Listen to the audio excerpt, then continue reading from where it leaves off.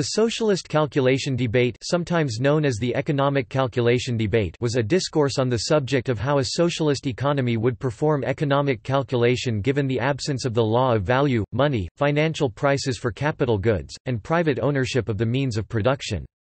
More specifically, the debate was centered on the application of economic planning for the allocation of the means of production as a substitute for capital markets, and whether or not such an arrangement would be superior to capitalism in terms of efficiency and productivity. A central aspect of the debate concerned the role and scope of the law of value in a socialist economy.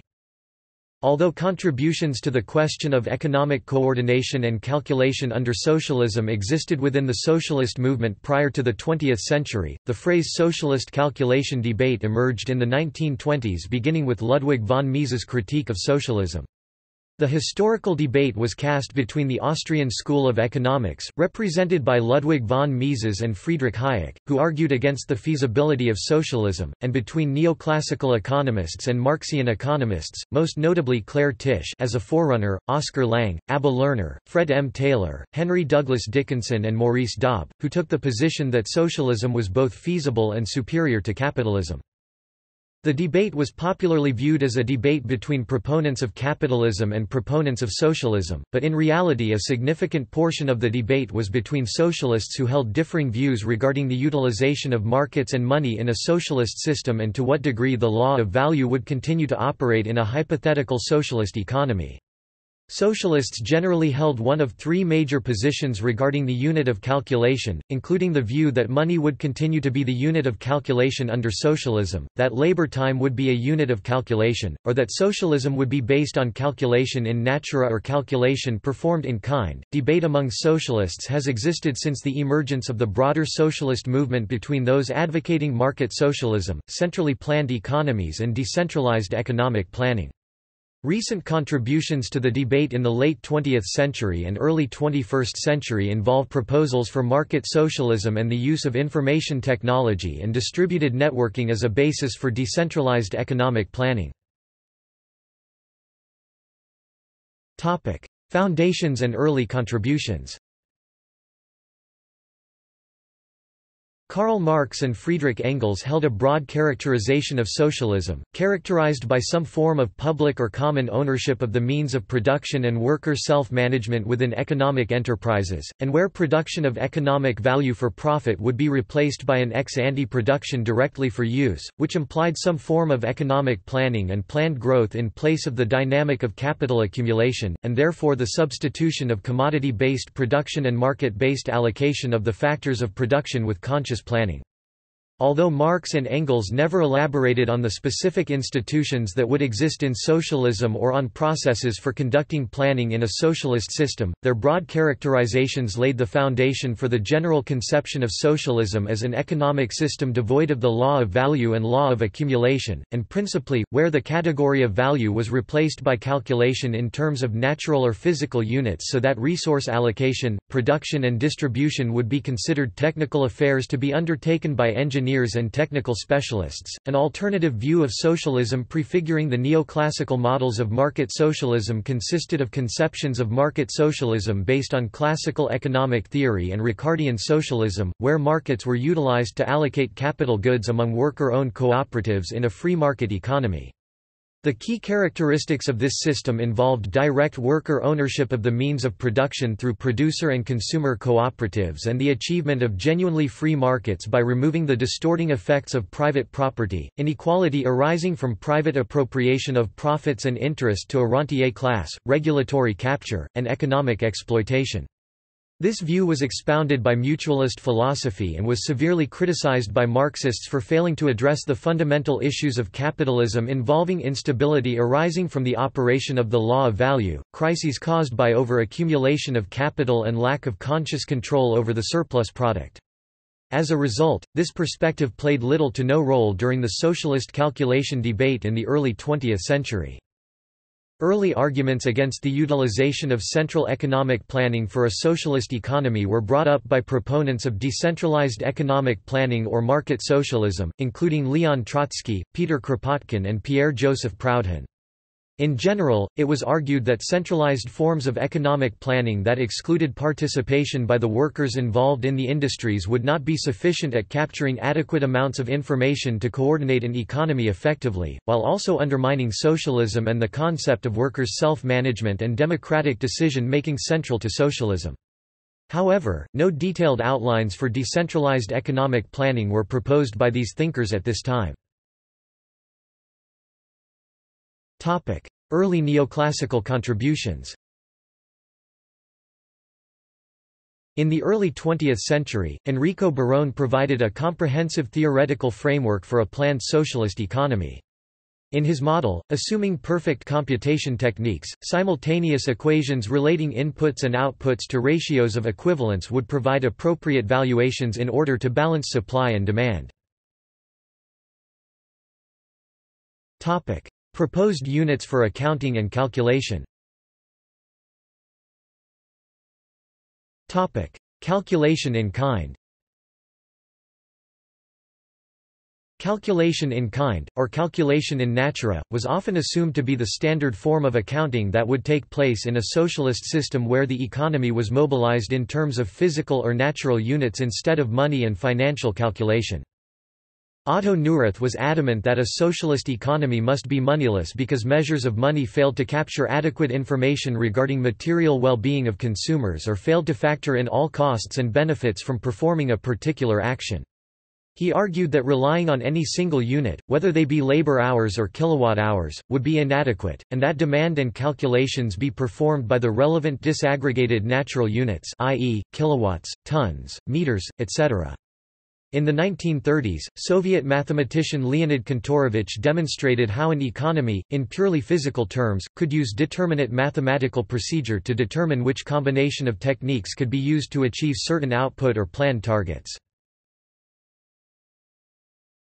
Topic. Debate on the use of money In contrast to Neurath, Karl Kautsky argued that money would have to be utilized in a socialist economy. Kautsky states the fundamental difference between socialism and capitalism is not the absence of money in the former, rather, the important difference is in the ability for money to become capital under capitalism. In a socialist economy, there would be no incentive to use money as financial capital, thus money would have a slightly different role in socialism. Labor time calculation Jan Appel drafted a contribution to the socialist calculation debate, which then went through a discussion process before being published as Foundations of Communist Production and Distribution by the Kommunistische Arbeiter Union Deutschlands in 1930. An English translation by Mike Baker was published in 1990. Interwar debate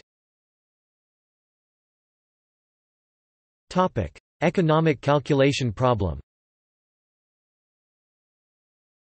Every step that takes us away from private ownership of the means of production and from the use of money also takes us away from rational economics. Ludwig von Mises, Economic Calculation in the Socialist Commonwealth Ludwig von Mises' argument against socialism was in response to Otto Neurath. Mises argued that money and market-determined prices for the means of production were essential in order to make rational decisions regarding their allocation and use. Topic: Criticisms of the calculation problem. Bryan Caplan, an anarcho-capitalist economist, has criticized the version of the calculation problem advanced by Mises arguing that the lack of economic calculation makes socialism impossible not merely inefficient. Caplan recognizes that socialism makes economic calculation impossible, yet that problem may not be severe enough to make socialism impossible, beyond the realm of possibility. For instance, he points out that the fall of the Soviet Union does not prove that calculation was the main issue there. More likely the problems resulted from bad incentives arising out of the one-party political system and degree of power granted to the party elite. The knowledge problem If a universal mind existed, of the kind that projected itself into the scientific fancy of Laplace, a mind that could register simultaneously all the processes of nature and society, that could measure the dynamics of their motion, that could forecast the results of their inter-reactions, such a mind, of course, could a priori draw up a faultless and exhaustive economic plan, beginning with the number of acres of wheat down to the last button for a vest. The bureaucracy often imagines that just such a mind is at its disposal, that is why it so easily frees itself from the control of the market and of Soviet democracy. But, in reality, the bureaucracy errs frightfully in its estimate of its spiritual resources, the innumerable living participants in the economy, state and private, collective and individual, must serve notice of their needs and of their relative strength not only through the statistical determinations of plan commissions but by the direct pressure of supply and demand. Leon Trotsky, The Soviet Economy in Danger. Lange model Oskar Lange responded to Mises' assertion that socialism and social ownership of the means of production implied that rational calculation was impossible by outlining a model of socialism based on neoclassical economics. Lange conceded that calculations would have to be done in value terms rather than using purely natural or engineering criteria, but asserted that these values could be attained without capital markets and private ownership of the means of production. In Lange's view, this model qualified as socialist because the means of production would be publicly owned with returns to the public enterprises accruing to society as a whole in a social dividend, while workers' self-management could be introduced in the public enterprises. This model came to be referred to as the Lange model. In this model, a central planning board (CPB) would be responsible for setting prices through a trial and error approach to establish equilibrium prices, effectively running a Walrasian auction. Managers of the state-owned firms would be instructed to set prices to equal marginal cost P equals MC, so that economic equilibrium and Pareto efficiency would be achieved. The Lange model was expanded upon by Abba Lerner and became known as the Lange-Lerner theorem. Paul Auerbach and Dimitris Sotiropoulos have criticized the Lange model for degrading the definition of socialism to a form of capitalism without capital markets. Attempting to replicate capitalism's efficiency achievements through economic planning. Auerbach and Sotiropoulos argue that Hayek provided an analysis of the dynamics of capitalism that is more consistent with Marxian analysis because Hayek viewed finance as a fundamental aspect of capitalism and any move through collective ownership or policy reform to undermine the role of capital markets would threaten the integrity of the capitalist system. According to Auerbach and Sotiropoulos, Hayek gives an unexpected endorsement to socialism that is more sophisticated than Lange's superficial defense of socialism. Topic: Contemporary contributions Topic: Networked digital feedback Peter Joseph argues for a transition from fragmented economic data relay to fully integrated, sensor-based digital systems. Using an Internet of sensory instruments to measure, track, and feedback information, this can unify numerous disparate elements and systems, greatly advancing awareness and efficiency potentials. In an economic context, this approach could relay and connect data regarding how best to manage resources, production processes, distribution, consumption, recycling, waste disposal behavior, consumer demand, and so on. Such a process of networked economic feedback would work on the same principle as modern systems of inventory and distribution found in major commercial warehouses. Many companies today use a range of sensors and sophisticated tracking means to understand rates of demands, exactly what they have, where it is or where it may be moving, and when it is gone. It is ultimately an issue of detail and scalability to extend this kind of awareness to all sectors of the economy, macro and micro. Not only is price no longer needed to gain critical economic feedback, but the information price communicates is long delayed and incomplete in terms of economic measures required to dramatically increase efficiency. Mechanisms related networked digital feedback systems make it possible to efficiently monitor shifting consumer preference, demand, supply, and labor value, virtually in real time. Moreover, it can also be used to observe other technical processes price cannot, such as shifts in production protocols, allocation, recycling means, and so on. As of February 2018, it is now possible to track trillions of economic interactions related to the supply chain and consumer behavior by way of sensors and digital relay, as seen with the advent of Amazon Go. Cybernetic coordination Paul Cockshott and Allin Cottrell, and Andy Pollack have proposed new forms of coordination based on modern information technology for non-market socialism. They argue that economic planning in terms of physical units without any reference to money or prices is computationally tractable given the high-performance computers available for particle physics and weather forecasting. Cybernetic planning would involve an a priori simulation of the equilibration process that idealized markets are intended to achieve. Participatory economics. Proposals for decentralized economic planning emerged in the late 20th century in the form of participatory economics and negotiated coordination. Decentralized pricing without markets David McMullen argues that social ownership of the means of production and the absence of markets for them is fully compatible with a decentralized price system. In a post-capitalist society, transactions between enterprises would entail transfers of social property between custodians rather than an exchange of ownership. Individuals would be motivated by the satisfaction from work and the desire to contribute to good economic outcomes rather than material reward.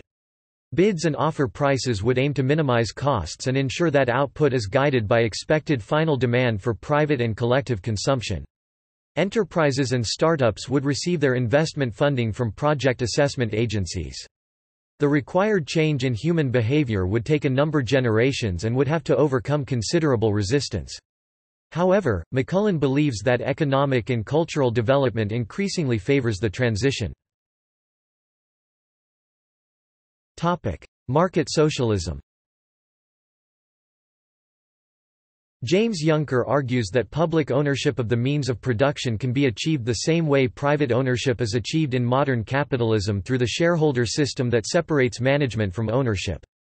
Yunker posits that social ownership can be achieved by having a public body, designated the Bureau of Public Ownership BPO, owning the shares of publicly listed firms without affecting market-based allocation of capital inputs.